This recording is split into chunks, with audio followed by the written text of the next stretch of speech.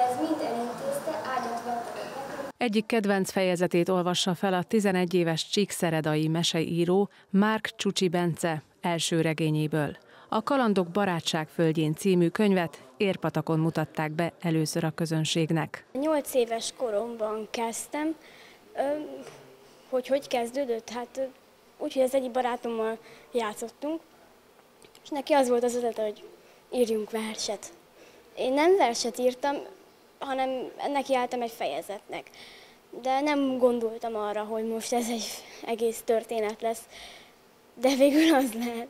A tehetséges gyermek kéziratára a konzervatív műhely alapítvány is felfigyelt. A szervezet elnöke szerint a történetvezetés, a karakterek ábrázolása, a feszültség fokozása egy sok kötetes szerzőnek is becsületére válna. Az alapítványunkat néhány évvel ezelőtt pont a konzervatív értékrend megőrzése tárgyában hoztuk, hoztam létre, és elkezdtünk azon gondolkodni, hogy milyen típusú feladataink is lennének a konzervatív értékrend megőrzésében.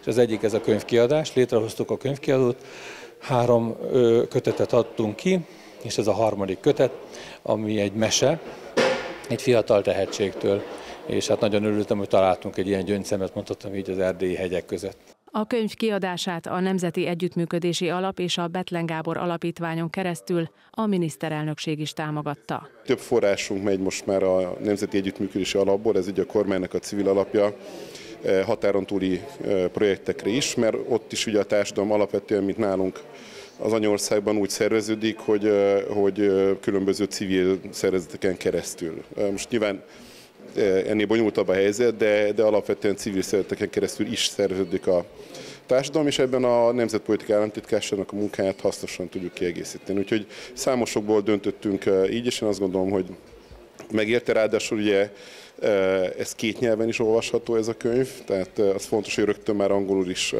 megvan, tehát megnyílik az út a nemzetközi világ felé.